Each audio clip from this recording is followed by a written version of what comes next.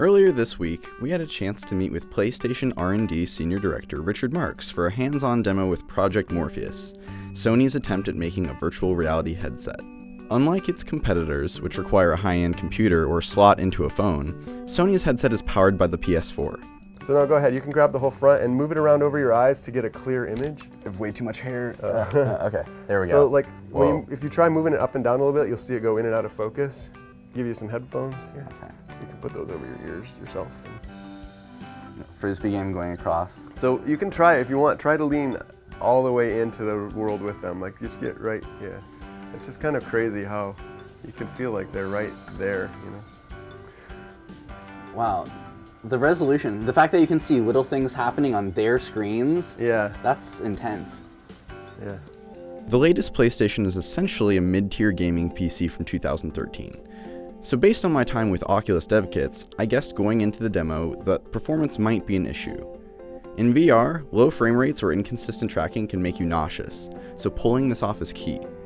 It turns out that with clever lighting and smaller environments, the PS4 doesn't have trouble rendering VR experiences that look like modern games without stutters. One of the fun things Sony's experimenting with is positional audio. When you move objects around that generate sound, like an in game cell phone, the sound moves around in your headphones. With more than 20 million PS4s already in people's homes, Sony has a leg up on competitors relying on PC gamers.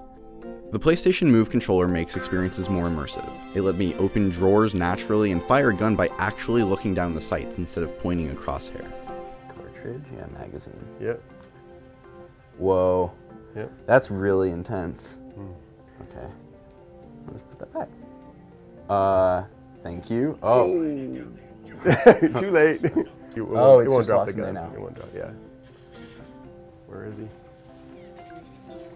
oh, Got him. Oh, there's the guy. Oh, now you got him. Nice. so that was exactly what I was hoping VR would be like. Uh, I think Sony has nailed the headset and software experience with Morpheus, cutting out a lot of the frustrations involved with headsets currently on the market. The biggest factor to watch for now is content. If Sony can line up interesting games, Morpheus could be the device that convinces millions of people they need VR in their living room.